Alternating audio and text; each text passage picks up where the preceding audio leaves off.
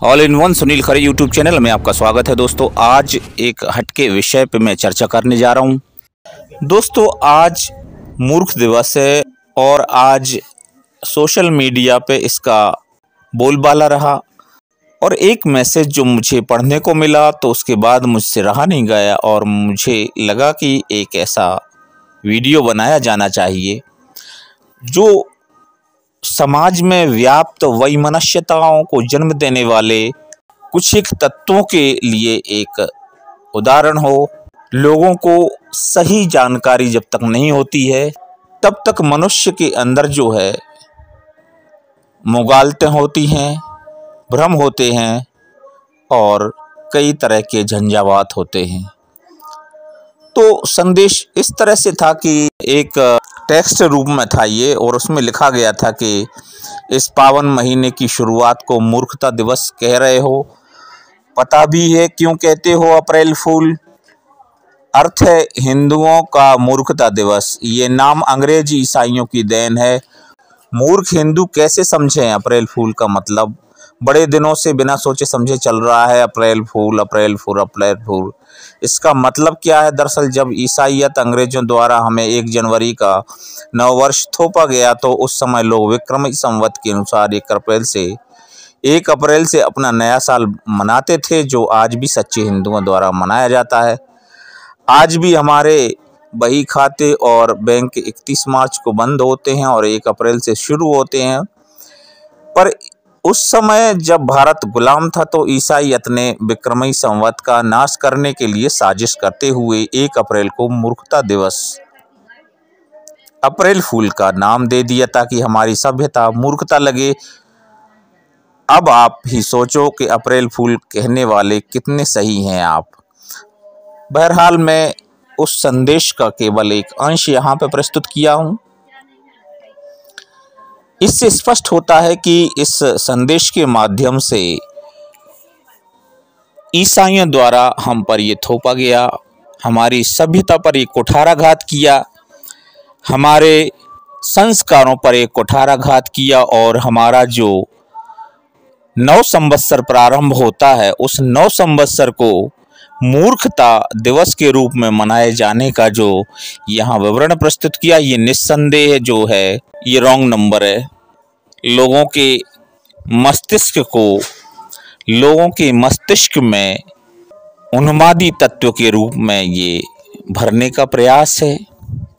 जिसने भी ये संदेश बनाया और इसको सारे मीडिया ने, चाहे वो फेसबुक हो, चाहे इंस्टा हो, चाहे आपका व्हाट्सअप हो, सब जगह यत्र तत्र ये देखने को, पढ़ने को मिला। तो उसमें मेरा मन जो है काफ़ी दुखी हुआ। इस तरह से कई ढेर सारे में एक नहीं, अनेकों, और मेरा अब आज तक का ये मेरा अध्ययन है कि वास्तविकताओं से बहुत दूर होते हैं ये सोशल मीडियाज के संदेश। मुझे लगता है कि महज पाँच प्रतिशत जो है इसमें संदेश पढ़ने लायक होते हैं।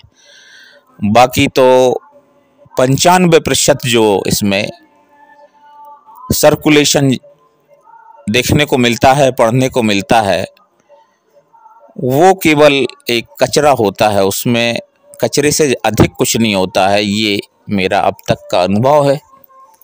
और उस अनुभव के आधार पर मैं ये आपके सामने व्याख्या प्रस्तुत कर रहा हूँ। ताकि जनमानस में व्याप्त वैमनस्यता, व्याप्त ईर्ष्या द्वेष दूर हो सके और हम सर्वधर्म संभाव की, जैसा कि हमारे रक्त में प्रवाहित है, हम हिंदुओं के प्रारंभ में, आदि में ये स्थापित है तो उस तरह से हम इस बात को सप्रमाण कहते हैं कि हम किसी धर्म के विरोधी नहीं हैं, हम किसी धर्म का प्रतिकार नहीं करते, बल्कि हमारा जो मूल में स्थित है मर्म, वो है वसुधैव कुटुंबकम। वसुधैव कुटुंबकम के आधार पे हमारी जो सनातन संस्कृति है, वो चलती आ रही है।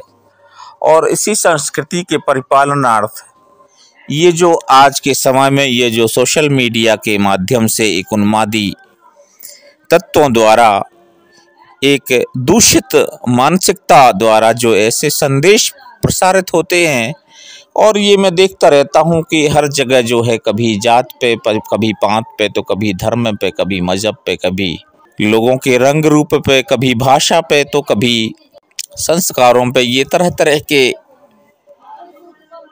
विषयों पर तरह तरह के जो है तथ्यहीन बातें कही जाती हैं और उन तथ्यहीन बातों पे लोग डिस्कस कर रहे होते हैं। ही ये बड़ा ही मजाकिया लगता है। पर ये जो सोशल मीडिया है, ये मैं कहना चाहूँगा कि ये हंस की तरह आपको इसका प्रयोग करना चाहिए। इसमें पंचानवे प्रतिशत बातें आपको ग्रहण करने योग्य नहीं होती हैं और केवल शेष पाँच प्रतिशत बातें रह जाती हैं जिस पर आप जो है उन पर विचार कर सकते हैं, उन्हें ग्रहण कर सकते हैं। तो मैं बात कर रहा था मूर्ख दिवस की। तो मूर्ख दिवस के अगर हम विस्तृत इतिहास पे जाएँ तो जो संवत्सर है हमारा, वो वर्षों से मनाया जा रहा है। पर बात हम ये कर रहे हैं कि ये जो मूर्ख दिवस है, ये इस पर थोपा गया है इस दिनांक या तिथि को तो ये कहना बिल्कुल व्यर्थ होगा, अनुचित होगा, क्योंकि लगभग 600 वर्ष पहले ये पश्चिमी सभ्यता में शुरू हो गया था। ये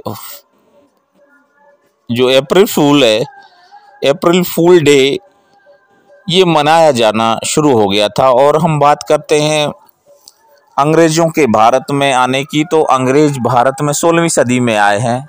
और ये वहाँ पे जो है, लगभग बारहवीं सदी से वहाँ ये मनाया जाता है तो इसके साक्ष्य मिलते हैं। तो अप्रैल की पहली तारीख को हर साल अप्रैल फूल डे मनाया जाता है। इस दिन बच्चे हों, बूढ़े हों, हर कोई एक दूसरे को बेवकूफ़ बनाने की खेल खेल में बढ़ चढ़ कर हिस्सा लेता है। और सबसे ख़ास बात यह है कि मूर्ख बनने के बाद भी कोई किसी पर गुस्सा नहीं होता, बल्कि खुद ही उस खेल में शामिल हो जाता है। और इस दिन के बारे में आपने कई सारे किस्से और कहानियाँ सुनी होंगी। हालाँकि बेहद कम लोगों को मालूम होगा आखिर अप्रैल फूल डे मनाने की शुरुआत कहाँ से, कब और कैसे हुई। इसका मैं आपके सामने कुछ विवरण प्रस्तुत कर रहा हूँ, कुछ मान्यताओं के बारे में बताने जा रहा हूँ। कहा जाता है कि साल तेरह से इस दिन को मनाने की शुरुआत हुई थी। दरअसल इंग्लैंड के राजा रिचर्ड द्वितीय और बोहेमिया की रानी एनी ने सगाई का ऐलान कर दिया था। सगाई की तारीख रखी बत्तीस मार्च। लोगों ने जश्न मनाना शुरू कर दिया। हालाँकि जब जश्न मनाने से लोगों को फुर्सत मिली तो एहसास हुआ कि कैलेंडर में 32 मार्च जैसी कोई तारीख नहीं होती। तब जाकर उन्हें समझ में आया कि वह तो तगड़े वाले बेवकूफ़ बन गए हैं और इसके बाद से अप्रैल फूल डे मनाना शुरू कर दिया। इस दिन से जुड़ी हुई एक मान्यता यह भी है कि साल पंद्रह में चार्ल्स पोप ने फ्रांस में पुराने कैलेंडर को बदल दिया। उसकी जगह एक नया रोमन कैलेंडर लॉन्च किया। इसके बावजूद बहुत सारे लोग पुराने कैलेंडर के हिसाब से ही चलते रहे। इसके बाद वहाँ भी इस दिन को अप्रैल फूल डे मनाना शुरू कर दिया गया। भारत में कब से हुई इसे मनाने की शुरुआत? कुछ रिपोर्ट के अनुसार, भारत में 19वीं सदी में अंग्रेज़ों ने इस दिन को मनाने की शुरुआत की थी। पिछले कुछ सालों से इसे मनाने का क्रेज़ बढ़ गया है। सोशल मीडिया पर भी इससे जुड़े मीम्स, जोक्स जमकर वायरल होते हैं। हालाँकि मज़ाक करते वक्त इन बातों का ध्यान रखें कि आपकी बातों से किसी को ठेस ना पहुँचे। वस्तुतः शुरुआत तो ये है कि अंग्रेज़ों ने ही की है ऐसा कि भारत में शुरुआत 19वीं सदी में। पर उनका ये कहीं से नहीं लगता कि ये मनोवत होगा या जो अंतर्स्थिति होगी, वो कदापि ऐसी महसूस नहीं होती कि उससे हमारे जो है गुड़ी पड़वा जैसे पवित्र त्यौहार के लिए कि नव संवत्सर के लिए जो है प्रतिस्पर्धा पैदा करना हो, ये बिल्कुल भी नहीं था इस माध्यम से।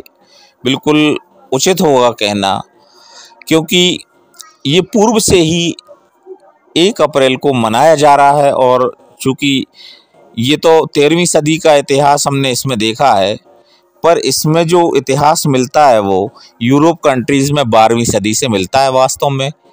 और इसका मनाने का ध्येय स्पष्ट तो नहीं है, कुछ ऐतिहासिक तथ्य नहीं है, पर मेरा ऐसा मानना है कि कहीं ना कहीं एक स्वस्थ मनोवृत्ति मज़ाक मज़ाक में यह ज्ञात करा देना है, यह आभास करा देना है कि मूर्खता जो है, जो बेवकूफ़ी जो है, वो मनुष्य के लिए हँसी का पात्र बनाती है। और इससे मनुष्यों को बचना चाहिए। ऐसी सजगता होनी चाहिए कि वह मूर्ख न बने। एक कहीं मैंने कथन पढ़ने को मिला था, वो बड़ा अद्भुत था, उसका यहाँ पे उल्लेख करना ज़रूरी समझता हूँ। किसी अज्ञात विद्वान ने कहा कि जो व्यक्ति मर जाता है, उसे मरने की फीलिंग पता नहीं होती। उसे दूसरे समझ पाते हैं कि ये मर गया। ऐसे ही बेवकूफ़ी की बात है जो बेवकूफ़ बन जाता है, उसे पता नहीं होता है। आपको सत्रह सौ बावन का कैलेंडर जो है, खोज लेना चाहिए। उसमें आपको मिलेगा कि ग्यारह दिन गायब हैं उसमें। तो ये जो ग्यारह दिन का इंग्लैंड रोमन जूलियन कैलेंडर से ग्रेगोरियन कैलेंडर में स्थानांतरित किया गया था तो ये स्पष्ट उल्लेख है। तो ये हमारे हिंदू कम्युनिटी से जो अप्रैल फूल के मनाने का जो प्रसंग जोड़ा जा रहा है, वो अनुचित ही हो। ये ग्यारह दिन जो कम किए गए थे तो इसमें मज़दूरों के लिए पूरा श्रम का भुगतान मिला था। मतलब तनख्वाह पूरी मिली थी तो इस तरह से जो पेड लीव की अवधारणा जो है, यहीं से जन्म हुई है। तो ये भी प्रसंग है। और इसके पीछे एक अन्य कारण ग्रीको रोमन महोत्सव हिलारिया भी था, जो देवताओं की प्राचीन ग्रीक माँ साइबेल के सम्मान में मनाया जाता है। तो इसमें चुटकुले, मुखोटे और परेड आदि शामिल हैं। तो ये इस तरह का जो है, अप्रैल फूल डे मनाने का ये सभी संदर्भित तथ्य मिलता है। कुछ अन्य सिद्धांतकारों का कहना है कि इसका सबसे पहले जेफरी चौसर की द कैंटरबरी टेल्स में उल्लेख किया गया था। तो ये तथ्य होते हैं। इस हिसाब से अगर ये होता कि जैसे सोलहवीं सदी में या सत्रहवीं सदी में अंग्रेज़ आए और उन्नीसवीं सदी में यहाँ जो है मनाना शुरू हुआ, क्योंकि उन्नीसवीं सदी में यहाँ विराट रूप ले चुका था जो ईसाई समुदाय है तो उस हिसाब से वो अपने त्यौहार जो है यहाँ मन, मनाने का उन्होंने शुभारंभ किया।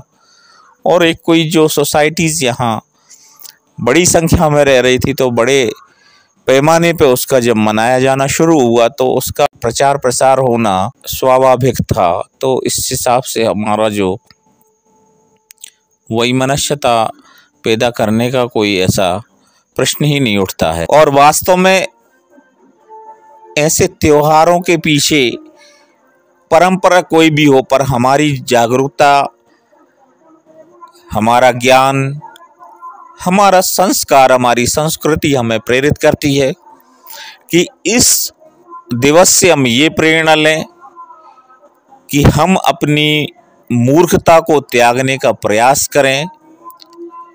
हम कोशिश करें कि हमारा जो प्रज्ञा है, हमारी बुद्धि जो है, वो विकसित हो। और हम इस दुनिया में कुछ बेहतर करने का प्रयास करें ताकि हमारे माध्यम से लोगों को सुख और निरोग प्राप्त हो सके। तो इस तरह से ये मन में धारणा बना लेना कि कोई त्यौहार इस वजह से मनाया जाता है कि उनने इनका विरोध किया। इन बातों में हमें नहीं पड़ना है। और कदाचित इस तरह के उन्मादी लोग हर धर्मों में, हर संप्रदाय में, हर मज़हब में मिलते हैं। बुद्धिमान लोग इन बातों से दूर रहते हैं और अपने स्वभाव के अनुरूप, अपने धर्म संस्कृति के अनुरूप जो है, प्रेम और सौहार्द की भावना के साथ जीवन यापन करते हैं। तो उससे मनुष्य कि अंदर आनंद और उत्साह सदैव बना रहता है। तो इस तरह से ये आपको अप्रैल फूल के बारे में जानकारी अच्छी लगी तो कमेंट करिएगा। और आप सभी विश्व के सुधीजनों को मूर्ख दिवस की हार्दिक शुभकामनाएँ।